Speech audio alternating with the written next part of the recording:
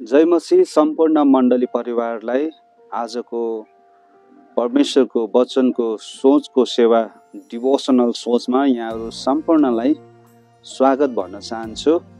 So क्रममा आज हामी व्यवस्थाको पुस्तक एकतिस अध्यायको छ पदलाई हामी आज मनन गर्नेछौँ। अनि हजुरहरूको आँखा व्यवस्था एकतिसको छमा लगाउन सक्नुहुन्छ। आफ्नो हृदयलाई लगाउन सक्नुहुन्छ आफ्नो सोचलाई लगाउन सक्नुहुन्छ। यहाँ लेखिएको छ बलिया हो र खुब साहसी हो न डराओ न त तिनीहरूसित भयभीत हो किनकि परमप्रभु तिम्रा परमेश्वर नै अँ उहाँ नै तिम्रो साथमा जानुहुन्छ। उहाँले न तिमीलाई छोड्नुहुन्छ न तिमीलाई त्याग्नुहुन्छ। आमेन। परमेश्वरलाई धन्यवाद होस्। उहाँको यो प्रतिज्ञाको लागि उहाँको विश्वसनीयताको निम्ति हामी तपाईँ परमेश्वरलाई धन्यवाद दिन्छौँ प्रभु। तपाईँको वचनको ज्योतिले हामीलाई हाम्रो गोडाहरूलाई हाम्रो बाटोहरूलाई उज्यालो गर्नुहोस्। हाम्रो दैनिक जीवनमा प्रशस्त तपाईँको वचनको आशिषले भर्नुहोस् भनेर प्रार्थना बिन्ती गर्छौँ। यसु प्रभुको उच्च अनि महिमित नाममा। आमेन। सो प्रियहरू हामी यो वचनलाई मनन गर्छौँ भने इजरायलीहरू जहाँ जाँदै थिए होइन जुन ठाउँमा जाँदै थिए जुन प्रतिज्ञाको भूमिमा उनीहरू जाँदै थियो उनीहरूको अगाडि बाटोमा ठुलो अवरोध थियो। त्यहाँ बस्ने मानिसहरू ठुल्ठुला एकदम बलिया हष्टपुष्टहरू थिए तर इजरायलीहरूको अवस्था त्यस्तो थिएन। उनीहरू उजाड स्थानबाट आएका थिए। त्योभन्दा अगाडि मिश्रको दासत्वबाट आएका थिए। शरीरमा उनीहरू दुर्बल कमजोर थिए। दासत्वमा बस्दा कस्तो हुन्छ प्रियहरू? है मालिक जस्तो त हुँदैन। है दासत्वमा बस्ने मानिसहरू दुब्ला पातला बिरामी कमजोर हुन्छन्। अनि त्यो दासत्वबाट फेरि उनीहरू चालिस वर्ष के गरेका थिए? वेल्डरनेसमा होइन उजाड स्थानमा यात्रा गर्दै थिए। अनि उनीहरूको शरीर दुर्बल थियो। उनीहरू शारीरिक रूपले भौतिक रूपले कमजोर थिए।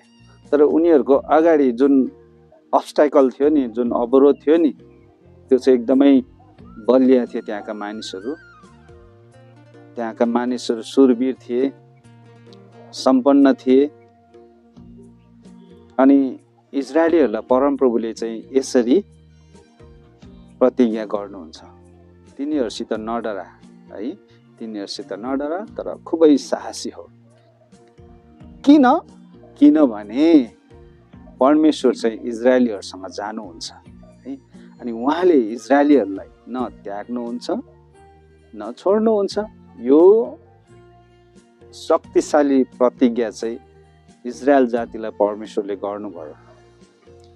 अनि यो प्रतिज्ञा इजरायलीहरूलाई मात्रै होइन तर जस जसले परमेश्वरलाई विश्वास गर्छ नि हरेक मानिसको निम्ति यो प्रतिज्ञा चाहिँ उत्तिकै शक्तिशाली र वास्तविक छ।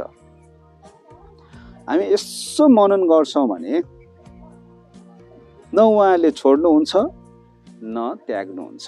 हेर्नुहोस् त छोड्ने भन्ने कुरा चाहिँ पहिलो व्यक्तिमा निर्भर हुन्छ।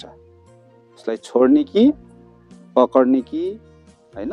त्यो भन्ने कुरा चाहिँ पहिलो व्यक्तिमा निर्भर हुन्छ। तर त्याग्ने अथवा अप्नाउने भन्ने कुरा चाहिँ दोस्रो व्यक्तिमा निर्भर हुन्छ है?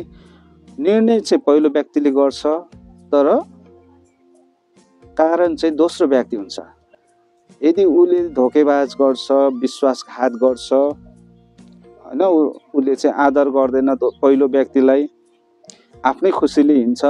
कहिले पनि पहिलो व्यक्तिको सल्लाहमा लिँदैन। अटेरी गर्छ गनगन गर्छ भने पहिलो व्यक्तिले के गर्न सक्छ उसलाई त्यागिदिनु सक्छ।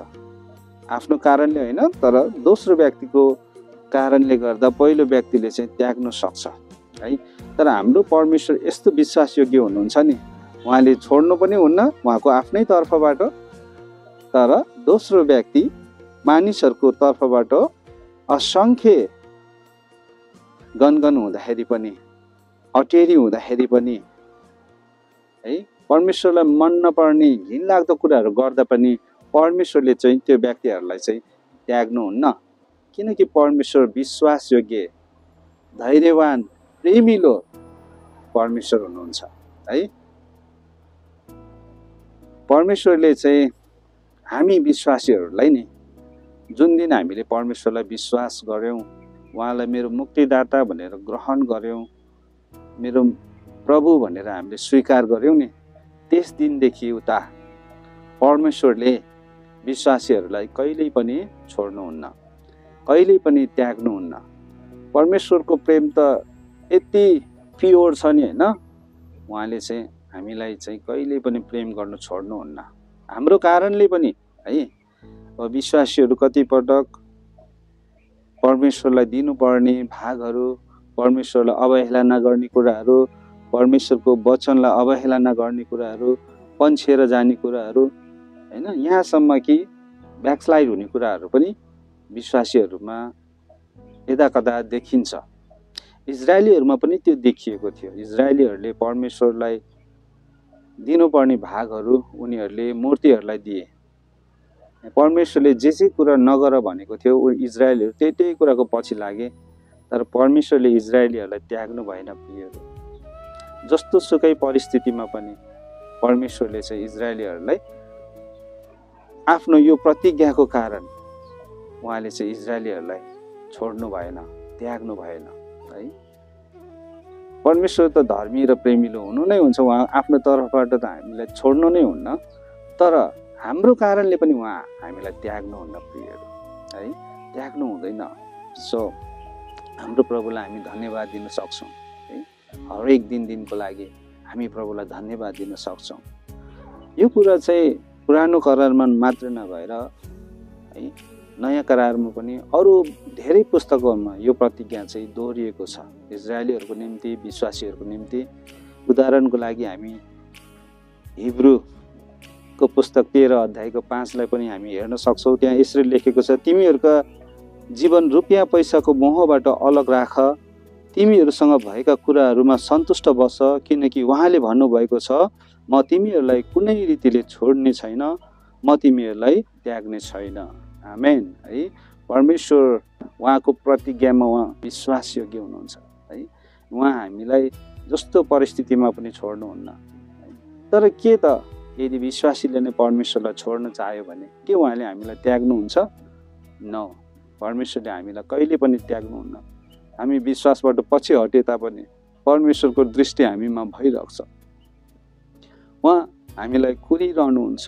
कहिले मेरो छोरा मेरो छोरी फर्कन्छ म यिनीहरूलाई मेरो साथमा मेरो अङ्गालोमा लिन्छु मेरो अनन्तको स्वर्गमा म यिनीहरूलाई स्थान दिन्छु है? परमेश्वर धैर्यवान हुनुहुन्छ। उहाँ हामीलाई कोर्नुहुन्छ। यदि हामी टाढा गयौँ भने उहाँ अति धैर्यवान हुनुहुन्छ प्रिय। है अति धैर्यवान हुनुहुन्छ। उहाँको प्रेम उहाँको अनुग्रह हाम्रो लागि प्रशस्त छ। चाहिने भन्दा पनि बढी छ है।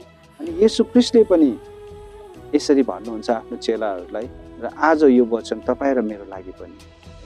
मत्ती अठाइसको बिसमा यसरी यसु क्रिस्टले भन्नुभएको छ।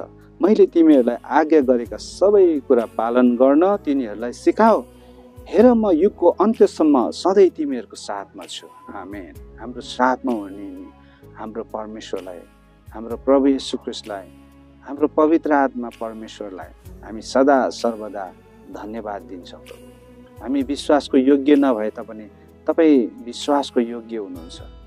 तपाईँ आफ्नो प्रतिज्ञाहरूबाट एक कदम पनि पछि हट्नुहुन्न प्रभु। तपाईँ हाम्रो जीवनको स्रोत हुनुहुन्छ प्रभु। हामी तपाईँलाई धन्यवाद दिन्छौँ। हाम्रो दैनिक जीवनमा तपाईँ परमेश्वरको महिमा अनि योजनाहरू पुरा भएको होस्। माग्छु यीशु प्रभुको नाउँमा। आमेन। हुन्छ प्रियहरू आजको डिभोसनललाई यही नै अन्त गर्छु। आउने शनिबार तपाईँहरूलाई वचनको सेवकाईमा परमेश्वरसँगको सम्बन्धको बारेमा बोल्नेछु। कनेक्सनको बारेमा होइन? बोल्नेछु मेरो लागि प्रार्थना गरिदिनुहोस्। है परमेश्वरमा रहिरहने कुराहरूको विषयमा म तपाईँहरूलाई शिक्षा दिनेछु बाइबलबाट अनि मेरो लागि पनि प्रार्थना गरिदिनुहोस्। जय मसी